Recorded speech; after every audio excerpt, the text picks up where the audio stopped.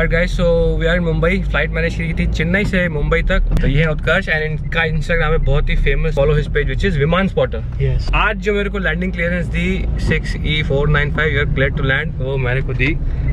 Ravindra we are going to visit A T C tower जहाँ पे इनका सारा काम रहता है। बहुत सारे मेरे जो व्यूअर्स हैं बहुत इंटरेस्टेड रहते हैं कि सर एविएशन पे बताओ और एविएशन बताओ। और तो आज uh, थोड़ा बहुत देखते हैं कैसा काम करता है। आप हैं? यू ऑल्सो डू स्पॉटिंग हाँ मैं प्लेन पिक्चर्स इंडिया इंस्टाग्राम पे। Now A T C time. So guys, this is the uh, Mumbai ATC tar जहाँ बैठ के ये सब लोग रविंद्र जी ने आज मेरे को लैंडिंग क्लियरेंस दिया था। We are going on the top and let's see how these guys work चले। रविंद्र जी तो बहुत लोग मेरे पास क्वेश्चन आते हैं कि जिनको अगर ATC में काम करना है तो उनको क्या कोर्स या क्या प्री रिक्विजिट कुछ चाहिए क्या चाहिए? First of all the qualification is BTech either BTech in any field in any field और इसके बाद या तो BSc in maths and physics okay after that you have to give AI exam ATC exam conducted by AI airport of India I come and go कितनी height है इसकी? 300 feet radar weather सब ऊपर है? नहीं नहीं यहाँ पे सिर्फ़ टावर कंट्रोल शिफ्ट टावर है। रेडार कहाँ पे है? रेडार वही से सैनिक में ले चलूँगा। अच्छा वो सैनिक में जाएँगे इसके बाद। जब भी आप बॉम्बे आते होंगे आपको ज़रूर ये टार दिखता होगा। तो यहाँ से तो यहाँ बैठे हुए लोग आपकी फ़्लाइट को कंट्रोल करते हैं.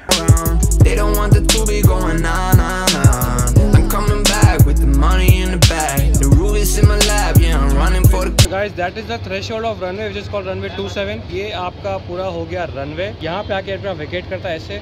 And then you see this Jet Airways he is taxiing out ये जो आपको एयरक्राफ्ट दिख रहे हैं ये टेक ऑफ के लिए जा रहे हैं so they are taxiing on runway 14 and they will go for take off Bag. The roof is in my lap, yeah I'm running for the cash.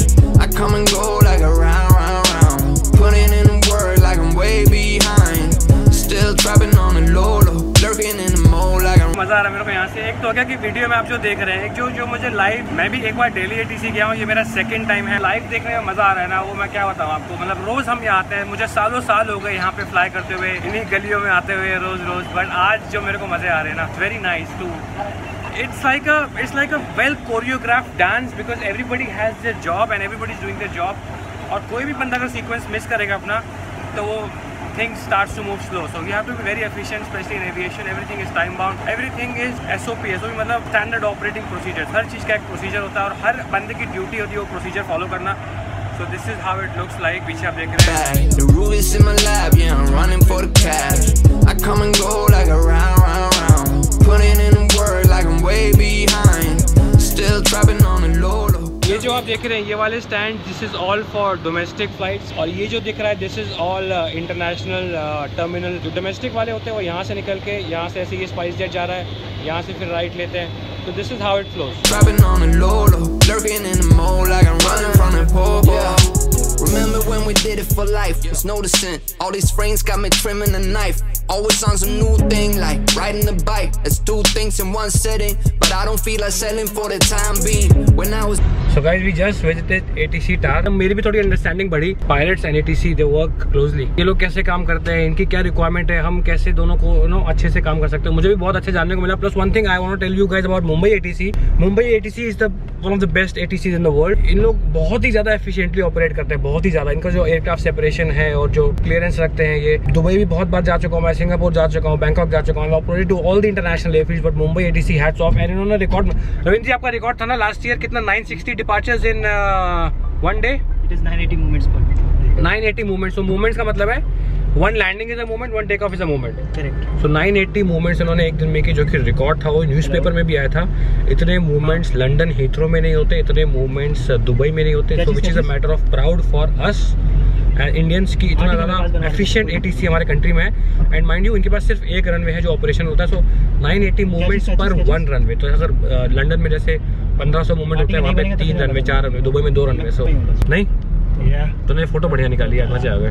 Thank you remember when we did it for life it's noticing all this friends come me trimming a knife always on some new thing like भाई जरा direct this is ATS ocean oceanic control radar तो जहाँ पे हम लोग पहले गए थे वो था टार कंट्रोल टार कंट्रोल क्या है कि एयरपोर्ट ऑपरेशंस देखता है ग्राउंड कंट्रोल किसको पुशबैक देना है किसको टैक्सी देना है take off clearance landing increase किसको देनी है। और यहाँ पे जो होता है रेडार कंट्रोल की एक बार आप टेक ऑफ़ करके कितना क्लाइम देना है एयरक्राफ्ट में सेपरेशन कितना रखना है। सो ये आपको लेके जाएगा ऑलमोस्ट दिल्ली तक। दिल्ली के 50 नॉटिकल माइल पक के पास तक आपको ले जाएगा। वहाँ पे अप्रोच होगी अप्रोच आपको और पास ले जाएगा। फिर आपको रनवे से अलाइन करके छोड़ देते हैं। तो once you're align with the runway उसके बाद टावर टेक्स ओवर जहाँ पे हम गए थे। सही बोल रहा हूँ ना? गलत हो तो करेक्ट कर देना ठीक है? गलत तो नहीं बोला ना? रविंद्र कहाँ गया? Riding a bike. Let's do things in one setting. But I don't feel like selling for the time being. When I was young, I used to dream about the palm trees. After the अभी हम हैं office में यहाँ पे flight planning होती है सारी कोई भी फ़्लाइट स्टार्ट करने से पहले आपको प्लान फ़ाइल करना होता है वो फ़ाइल अप्रूव होगा एटीसी के पास जाएगा तभी क्लियरेंस मिलेगा और ये जो देख रहे हैं these are the F I R boundary ज़्यादा मैं नहीं समझाऊँगा आपको टेक्निकलिटीज बट सो अपना पूरा countries divided into five F I R so जिस रीजन में आप जा रहे हैं उससे बात करते है ना सही बोला ना ये मेरे को पीछे से बोलते हैं सर सही बोल रहे हो सही बोल रहे हो सर कोई गलत नहीं बोल ना मैं एक्सप्लेन करता हूँ पीछे प्रॉम्प्टर लेके खड़े रहते हैं तो ये ये बोल रहे ये बोल रहे अब हम जा रहे हैं सबसे ज़रूरी जगह वो है एयर ट्रैफ़िक की canteen